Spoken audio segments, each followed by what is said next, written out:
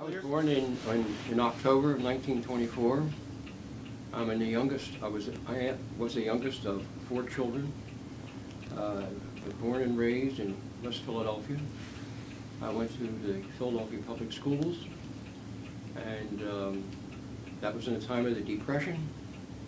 And my brother had a newspaper route, and when he went off to Drexel at night, I took over that, I eventually took over that newspaper route for him when I was 12 years old. I continued to serve until I graduated from Overbrook High School in, in West Philadelphia. Uh, as part of that, I had a newspaper route. I was fortunate. I had one in the morning and in the afternoon because I served newspapers to the Women's Hospital in West Philadelphia. It was right down the street from me. And in that experience, I saw the Morning Record go out of business, newspaper, and the Evening Ledger go out of business. And that was the time just in the, uh, in the late 30s. Um, we walked all the way to, I walked all the way from where I lived at uh, around 42nd and Lancaster Avenue in West Philadelphia, all the way up to 59th and Lancaster Avenue to go to the Overbrook High School, and that was, we were known as the Hilltoppers up in there. And we walked up every day, snow, never, we had, never had a snow day. Hmm. And in those days, the uh, milk was delivered by horse and buggy, and they would be there in the morning, and in the cold weather, to keep the milk from freezing up through the top of the bottle, they would pack ice around it to keep the milk a little warmer. Huh. But I never saw a snow day, but every day we went to school, Huh. and uh, we had no, could have went up by public transportation. I did sometimes, but generally I walked up there, or I rode a bicycle home. Um, on December 7th, 1941, I went to church that evening to a young people's group, and that is when I found out about Pearl Harbor. And I rushed home to my parents and told them about what had happened. The next day, in high school, I was in my senior, senior year then, um, the principal gathered all the students into the auditorium and, and told them about this disaster that happened out in Pearl Harbor. I did volunteer to go into the Navy, for some reason or other they rejected me. And then I was inducted into the uh, Air Army. I went out to, my first place was out to Indiantown Gap in Pennsylvania. Now, when when did you when were you inducted? Do you remember? I think I went in on my mother's birthday, which was April 22nd. That was when I went in, in 1943, that would be. Um, I went to uh, Indiantown Gap, got pre, found out all the roughness and the foul words and everything you learned in the Army there. Mhm. And then I went from there down to Greensboro, uh, South Carolina, for basic training. At that time, I volunteered to go into the Air Force. And then I went from Greensboro, North Carolina, to Scott Field out in Illinois for radio school.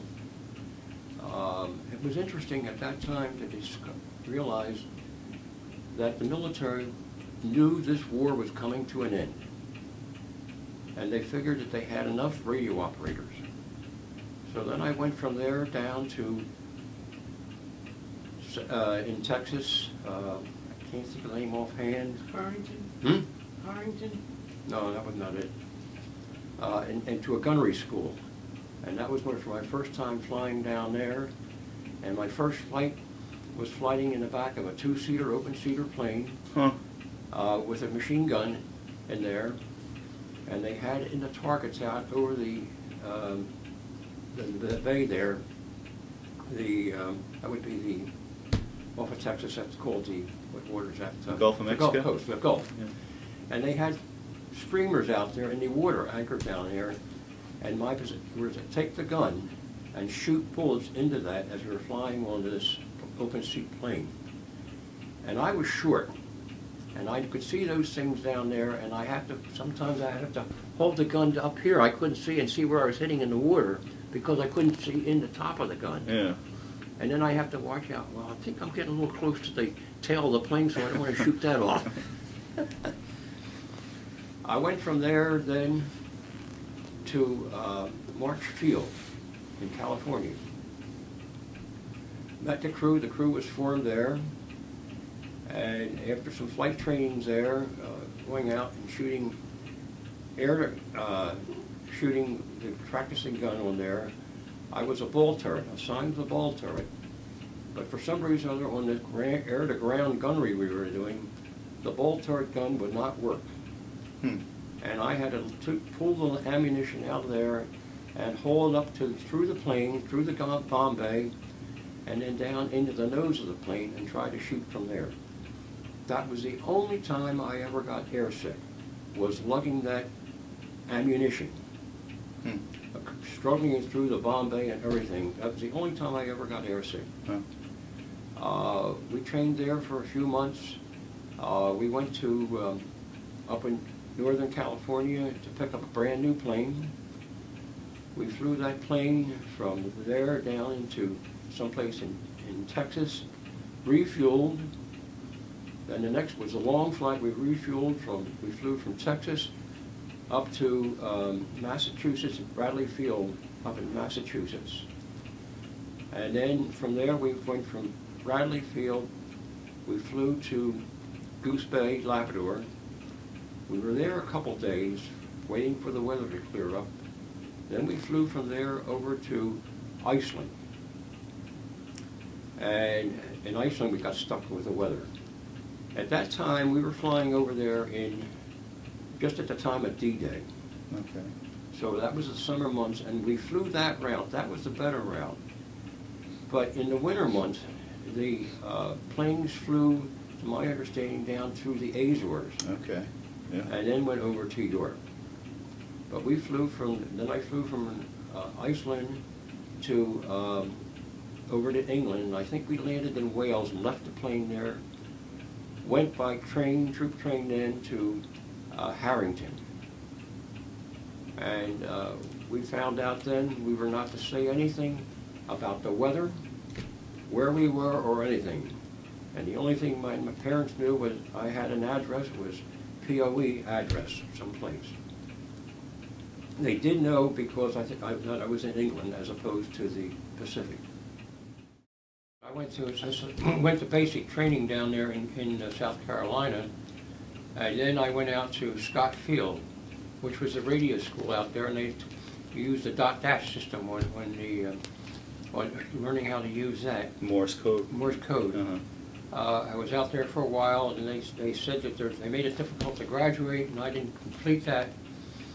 So I went down to the gunnery school down in Texas. And where's Scott Field? Scott Field's in Illinois, across, Okay. across from St. Louis, Okay. just out in Belleville, Illinois. Okay. Um, And um, down there then in, in, in uh, Texas, uh, we went to, um, I can't think of the name of that baseball hand, but um, to practice gunnery there. Of course, basic training, I practiced with a rifle down there laying on, on the targets and all. But down there, it was with machine gun training and all. Uh, As part of the training, they, they had me stand in the back of a back of a pickup truck. Mm-hmm. And this pick- pickup truck would go around the track, and every so often they would sh- shoot out these skeets, skeet shooting. Oh, so you had to try to. So, the, so the, to get the training to the, me, be- I being moving and a target being moving Right. at the same time. Sure. That was part of the training to, to do on that. Then eventually we got out and and did it in flying, doing training that way. Uh, that, that was very interesting, that base down there, because it's subjected to, uh, Harlingen, Texas, that's where it was. Um, subject to the, uh, tornado, uh, hurricanes down there, Right. the, the barracks had a pitched roof like that and come down. But down there, they took the pitched roof and where the, then they continued on with a tie wire down into the ground Huh. to keep from the roof blowing off. And how many times we tripped over those doggone wires, I, it's unbelievable. Why? Did, why was your unit uh, collectively called the Carpetbaggers?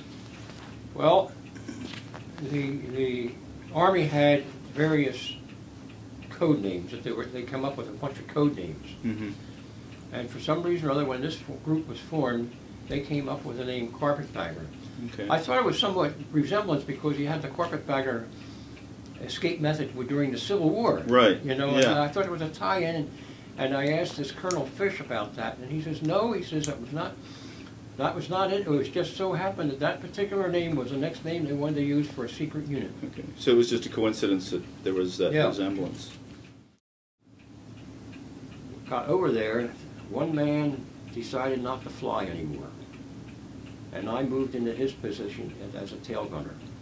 Because in that plane, we were in a, uh, planes were painted black. And they took the ball turret out of that group. And that was what they called a Joe hole. We found out then that we were going to drop out supplies and uh, people out of the plane. Uh, it was a, the planes, planes were painted black. We had containers, maybe about this size, that we hung in the bomb rack, in the bomb racks to drop out at night.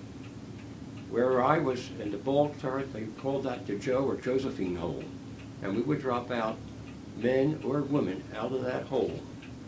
Um, and also, we had the escape hatch at the back. We would open that up and drop some supplies out. Uh, we, my understanding was that we dropped the supplies out at night at 400 feet, and we dropped the people out the chutes at 600 feet at night. Uh, we flew just above stall out on those planes, and when we got over to the site, we would see, I couldn't see it being in a tail, but the, the bombardier, he could see, it would be three lights in a row, flashlights, and off to one end would be another one. And where we saw the two of them side by side, we knew that that was where we were to start dropping our supplies out. And we were flying upwind. So, and we got to the last flight, the, the bomb, we would stop dropping supplies out if we had any more on there. With the command would don't stop it, we would go around again. I think when we had personnel, we dropped the personnel out first. And then we dropped the supplies out. And they would have a, the, the, the odd light off to the one side, he would blink a Morse code to us. And he would get that over the, over the BBC. At that Mhm. time, the BBC would say, say, um, Joe's got a threepence in his left pocket. That was a clue. Mhm. We- And the, the underground over there in York had their radios tuned up to know. And when they knew that group was coming in, that particular spot, they knew where we would come, and when they heard us, then they would turn their lights on for us. And we would drop our supplies out to them. Uh, I can remember that first night, I think all of a sudden we were flying, I think we were on our way home, and all of a sudden, a- a searchlight hit us, and then it went off. And it was our people from the ground forces saw that we were an American plane, in a Okay. B-24. Okay. And, and we went on, and I remember the navigator, for coming back, we flew at night without any lights. And coming back, he decided to take a, a, a- a initial point, reference point over the Guernsey Islands. Not knowing that they were occupied by By the the Germans Germans, all yeah. through the war. Yeah, right. And we took some flak on that one, and a piece of flak did come in the plane about three or four feet from where I was. Mm. But we made it back, and when you landed at night, the, the field is dark, but the radio operator, well, on a plane we had an IFF uh, machine in there, identify friend or foe. And we turned that off when we were over Europe, but we turned it on when we were into, into approaching England, so that they would know who we were. And that would, my understanding, that was changed every day periodically, so that uh, all the things are that way. And we would, um, as we got on our final approach, they would turn the lights on for an instant until we got down on the ground. And then at the end of the, we would land, and they would interview each one of us as to what we saw. Um, and they gave us, they had some uh, liquor there for us to drink to calm down our nerves. And being in the flight crew, we were, this was after the, I did, I got over there after, after D-Day. D-Day was in June, and I got over there in August. Okay. Um, and at that time, they had made some inroads. We used to get nothing but SOS to eat on the morning for our meals, Mhm. uh, but and scrambled eggs. But when we got over there for the flight crew and landed at night, maybe five o'clock in the morning we got there, they served the flight crew with eggs, and that was a real treat to get eggs for breakfast. Yeah.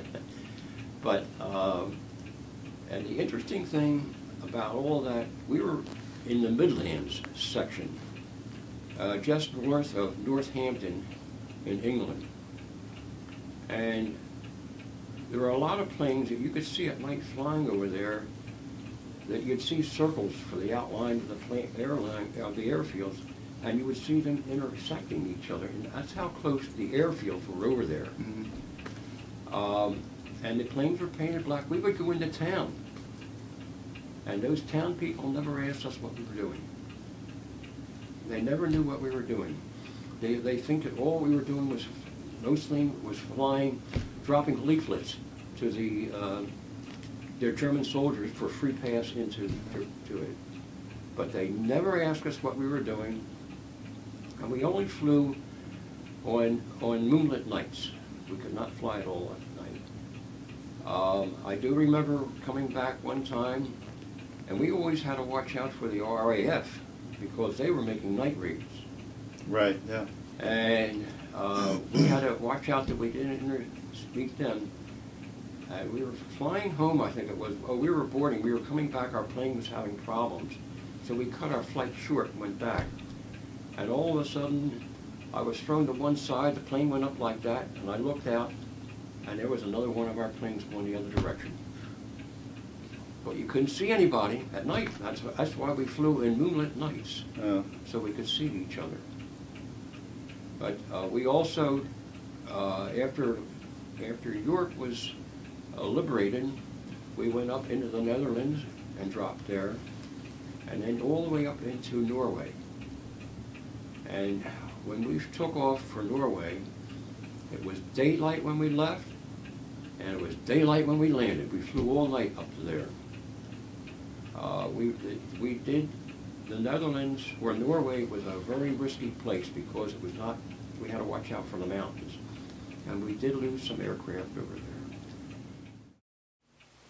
Now, did you ever, uh, when you were flying over on these missions, did you ever uh, talk to the agents you were dropping? Did, were there any exchanges of any kind? Uh, couldn't speak English. I, I know the one we went out on, and the, the, the jump master says all he could say was, okay, okay, that was the only English they had.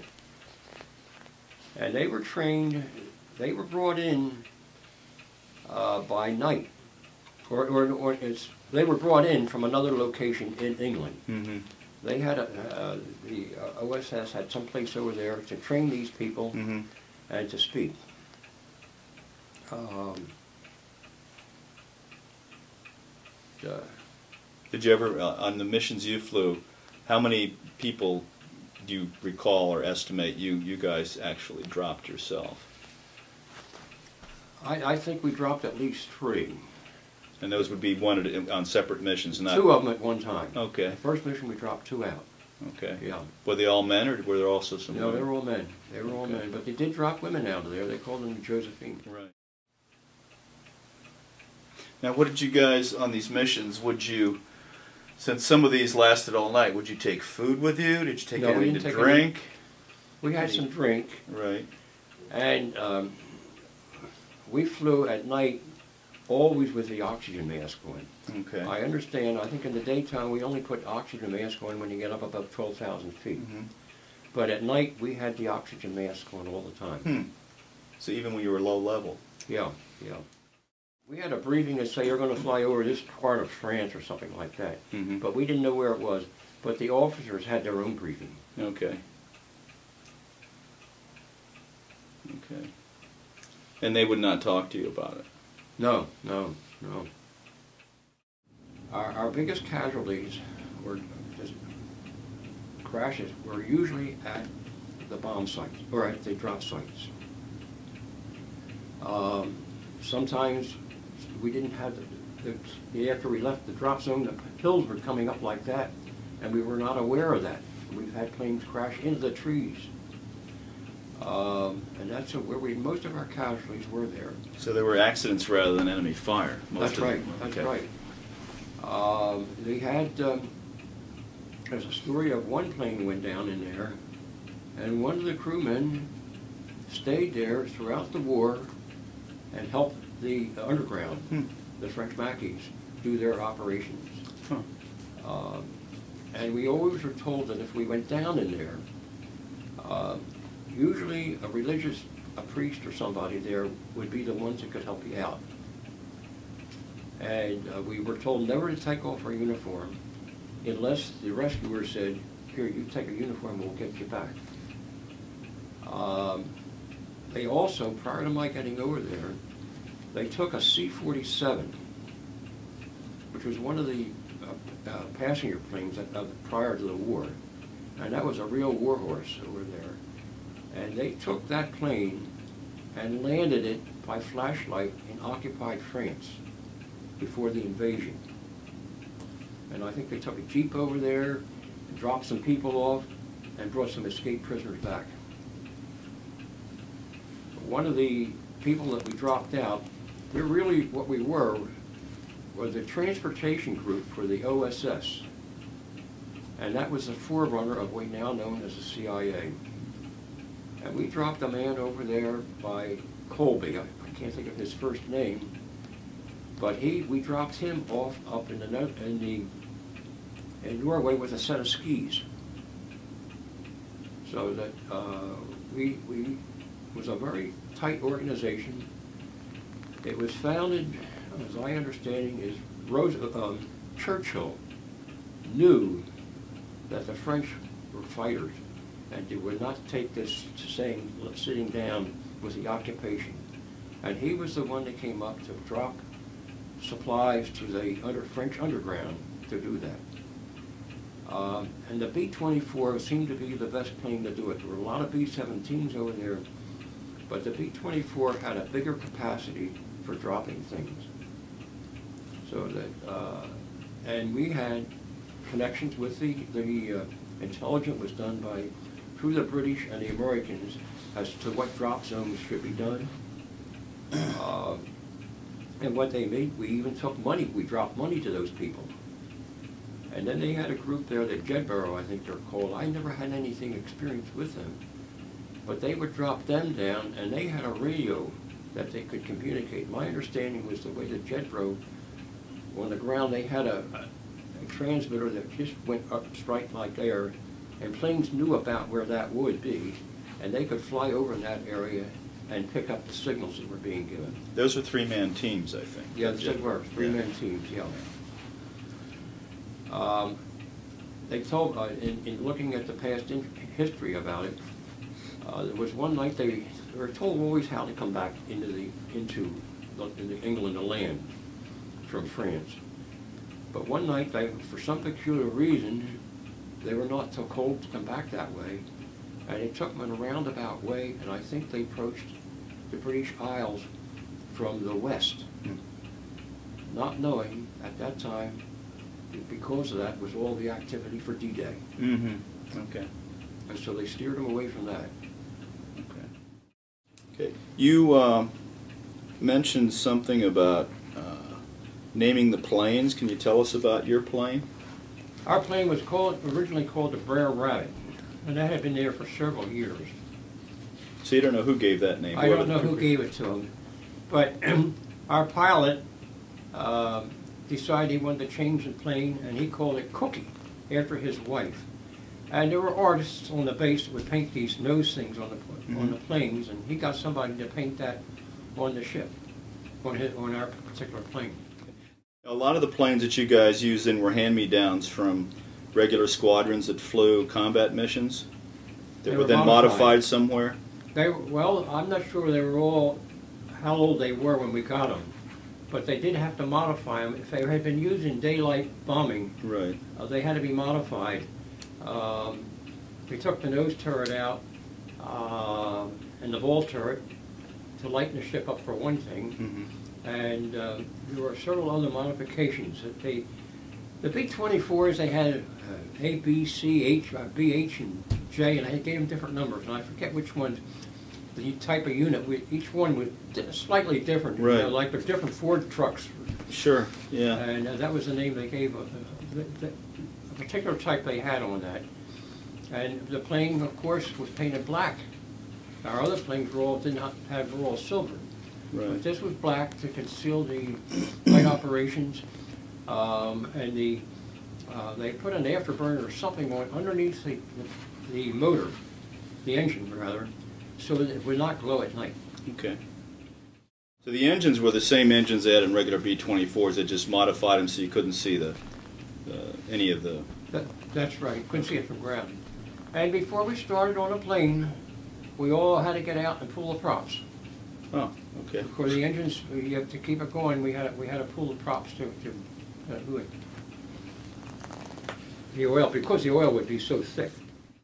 Now, what other planes did you have on your base? You showed us a picture of what looked like a, one of those British-made mosquitoes. Did, what other planes did you have on your base? I saw some, um, I think I saw some P-51s and P-47s in there, Okay. But we, it was basically all, all 24s. Okay. If, if they came in, there was, somebody was visiting. And apparently the, the officers had, a, had the freedom to do, go visit from one base to another one. After the war was over, or really the battles were narrowing, coming down to an end, I know I flew with the, with the uh, squadron commander to go to some other base. He wanted to visit somebody. He had the privilege of taking the B-24 to visit with him. Oh.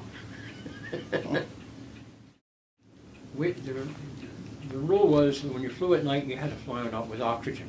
Right. So we had the oxygen. But the other way, we needed the- that insulated suit because it was so cold when we were flying at uh, maybe eight or 10,000 feet Mhm. at night.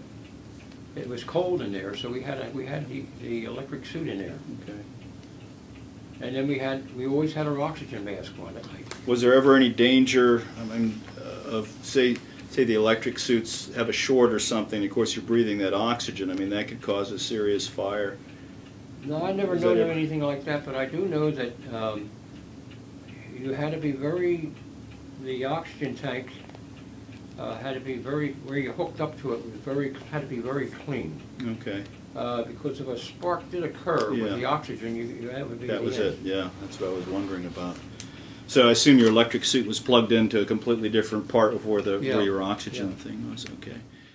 Harrington like. Harrington was a, a a small town, um, and uh, there was not any big villages around us. The biggest town, I think, was Northampton, which they ran uh, busloads of, of men into there at night. Um, I was in there a couple times, but there was a little town closer to it in Brixworth. It was called Brixworth, which was an old town. And in that particular town, there was a church, and I understand that that was the I think about the second oldest living uh, structure or church structure in in England. Hmm. And, and I did see that. Uh, and Is I had the the one we went to? opportunity later in the 90s to go over there and visit and saw that church. My wife and I went over there. But this town in, in Brixworth, we would get in there on a truck that would take us, and then the, the Northampton people would back would pick us up on the way back. And eventually, I got a bicycle, so we would ride in there. Um, I was fortunate. Our crew was fortunate, and we stayed in Quonset huts. Okay, because I've no- noticed on the video last night, it was mostly known as a tent city. There was a tent city there that some of the bomb groups were in, but the group that I was in, we were able to um, stay in these in the um, Quonset huts. Uh, and then we had a little hike up to the mess hall, uh, and it was a very quiet town. Uh, but the people in there never asked what we were going to do. And uh, a lot of people in that town had moved into it through the war to get out, out of the Blitz in London. Mhm. I, we did get a pass um, for a couple of days, and we went into London, the, the bunch of us. And, and that was quite a sight, getting in there, and you would walk around the piles of rubble from those buildings. At that time, the buzz bombs were coming over Mhm. in, in the air. The uh, uh, aircraft was, they had no German aircraft at that time.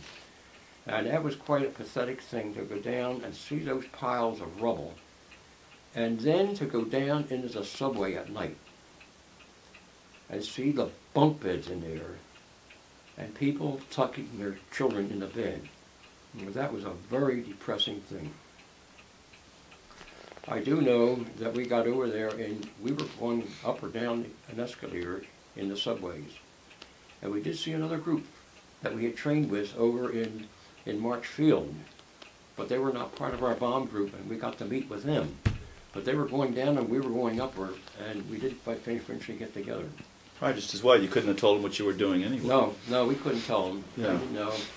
And um, uh, the, they were they were stationed. A lot of the the, the Daybind groups were stationed over Norwich, which is on the east coast Right, of yeah. um, of England. And they did have a plane under an airfield over there. I understood that a plane could come down there and make a a dead landing and not many breaks. The, the, the, built, the runway was so long that they would be able to stop the plane if, if their hydraulic system oh, Huh. lost. Oh. Now, since you were on such an unusual mission, since of course the, the strategic bombing of Germany, as you said, you RAF flying their carpet bombing missions at night, and the USAAF flying their precision bombing runs during the day. You guys, of course, were nocturnal. You were going in uh, at night, so it, it put your whole schedule backwards. So you would sleep during the day. Your ground crews got to work in the daylight rather than at night, repairing the planes. Yeah.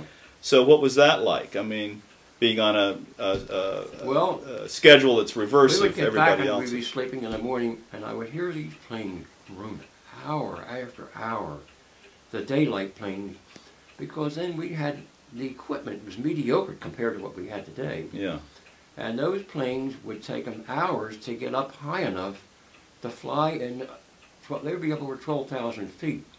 And it took them hours to fly around and get up there. And I understand that they also had some planes painted a particular color. And they would be the planes to round up all the other planes. As they're flying up in there, gosh, you don't know who this guy is next to you. right.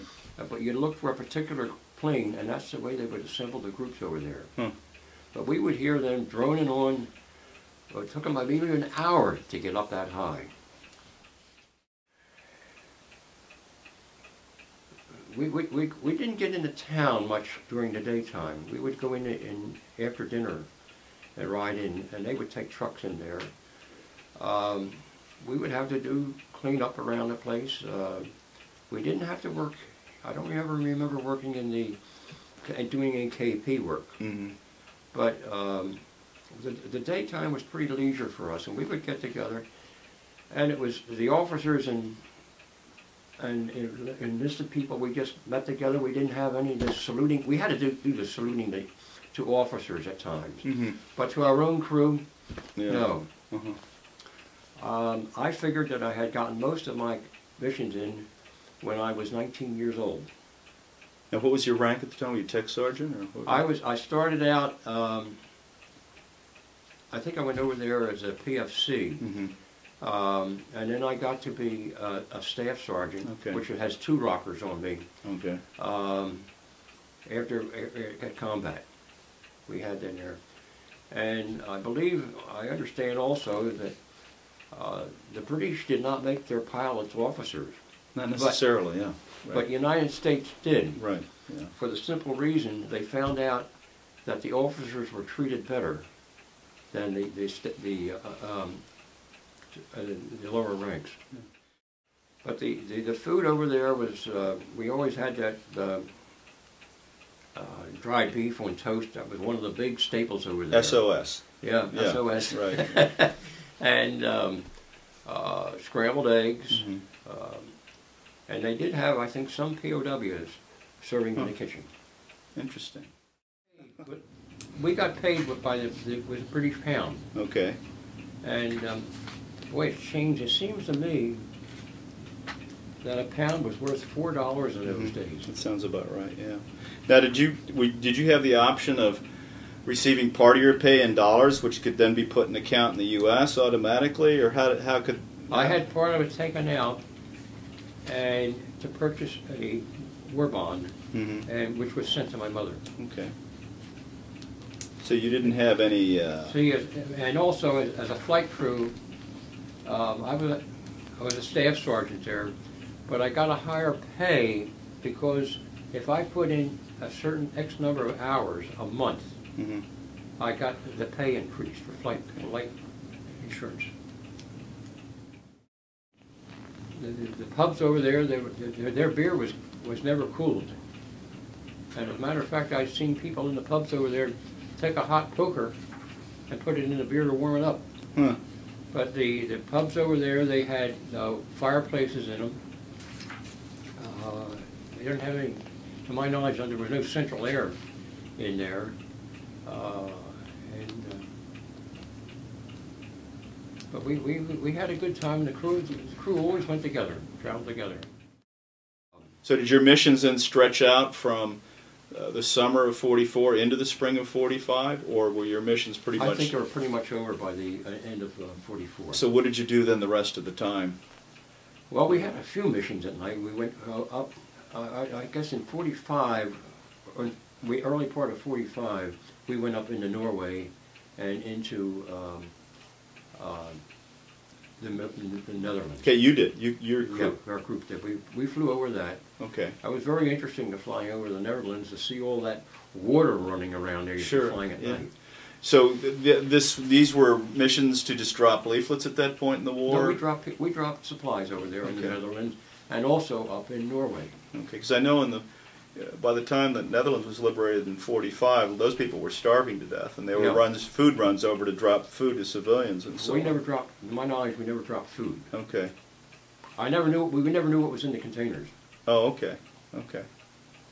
And they were these long, we, the the th- what they showed on the uh, on the video anyway. These long cylinders That's right. that would be loaded with different, you know, food or Yeah, ammunition yeah. or arms or radios or whatever. Yeah. Did you ever drop anything that wasn't in one of those cylinders? We dropped some bundles out, out of the, out of the uh, Okay. escape hatch. Just soft bundles? Of, Yeah, yeah.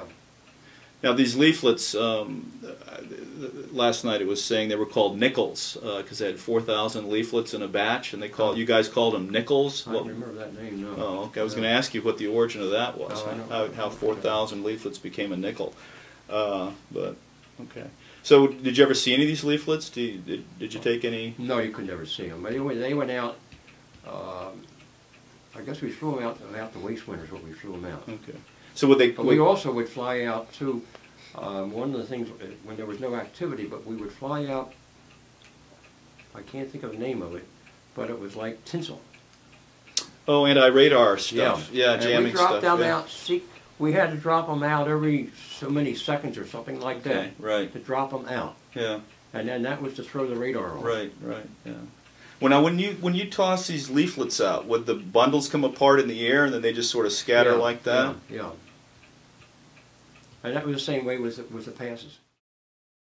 We, the missions ran out, and um, what we did then, we flew out and we dropped leaflets Okay. out to bomb bay. Okay. and we would drop them out.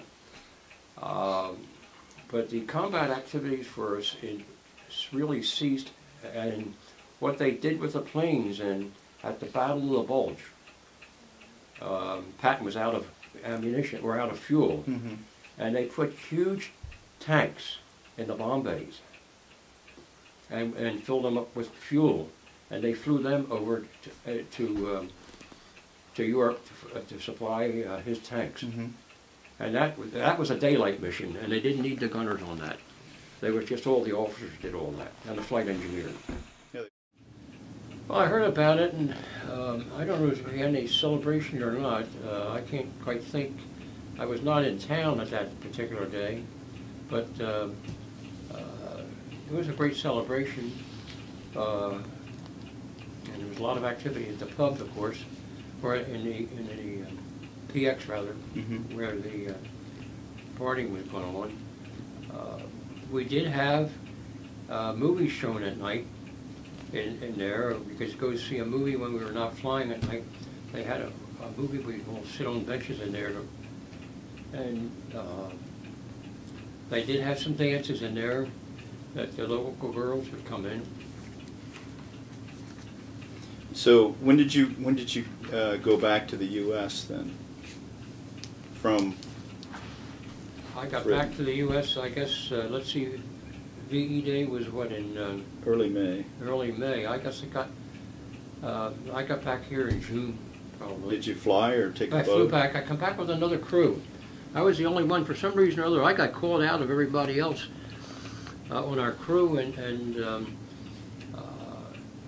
crews had been somewhat disbanded.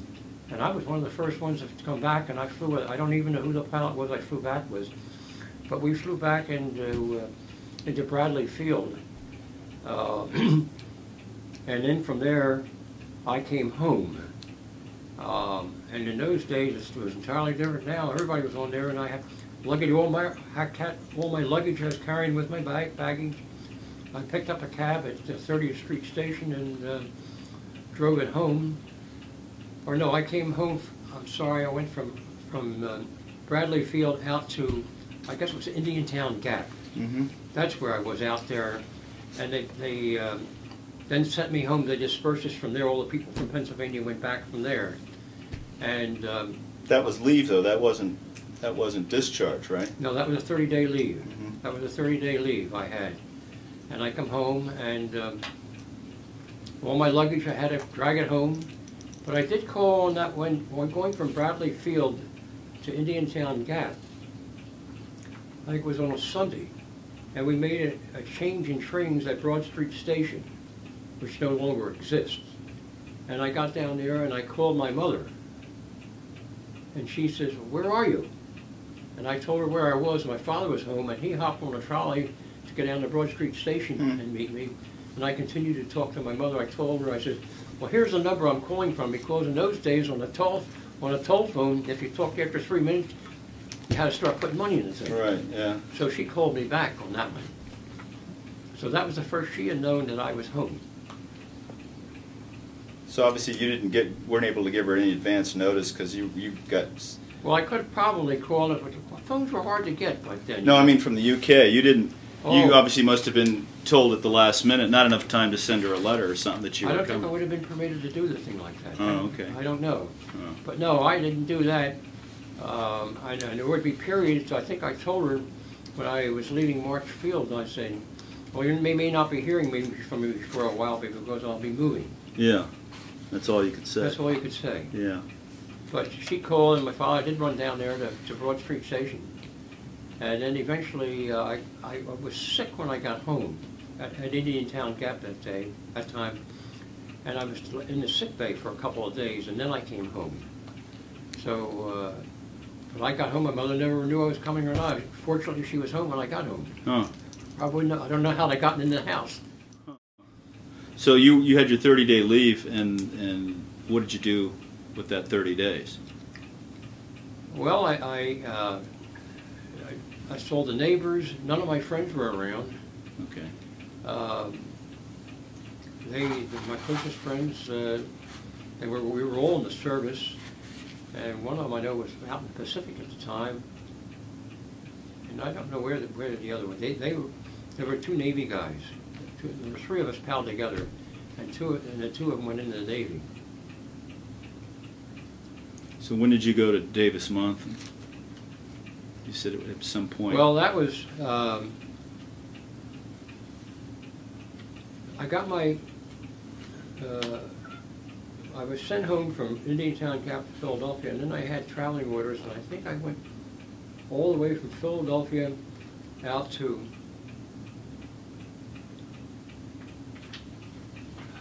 uh, Sioux Falls.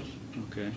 Sioux Falls. I was out there for a while, and um, then they they sent me down to Davis Monthan. Now, was there any hint that you might be headed to the Pacific, or were you? Yes, yes, there was a concern that we, we would go have to go. That was one of the reasons they sent us back earlier. A lot of my friends come back, went over by the boat and come back by the boat. Mm-hmm. I was fortunate to fly both ways, and the understanding was that this group was going to reform and work on the Pacific hmm battle zone. But, but the war ended in, between while we were home. But that was the understanding, we were going out there to, to the, uh, uh, to serve in the Pacific. So, what did you do at Davis Monthan? You said there were prisoners, German prisoners there who. Well, at, at, that was a, a, a place where they were discharging a lot of people. Okay. At the end of the war, you had a point system, Right. Yeah. and, and I was, I was fortunate, I had quite a few points because I got points for being in, in combat, on the- flying on the airplane, Right. and then being in the war zone. Uh, along with the number, of- I was in there for uh, 30, 30 months at that time. hmm So I had enough points, but I couldn't get out right away. hmm So what I did was to go work in an office in there and uh, could go through the paperwork for other people to dis- be discharged. So that's what you did at Davis Monthan. Yeah, Okay. So then, how did you end up in? Uh, so is that where you were discharged as well? Davis Monthan, yeah.